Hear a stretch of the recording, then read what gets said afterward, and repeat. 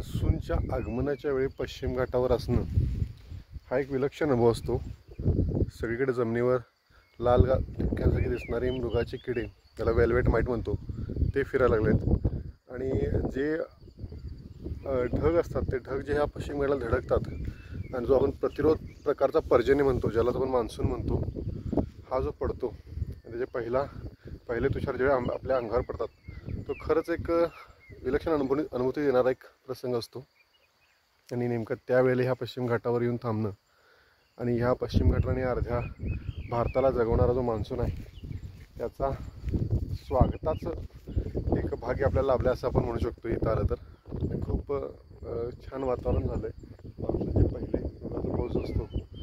तर त्या पावसाचे प पहिले तुषार आपल्या अंगावर घेणं. नक्की अशाच वे कुठल्या एका पर्यटन स्थळाला नक्की भेट द्या. पण निसर्गाचं भान राखू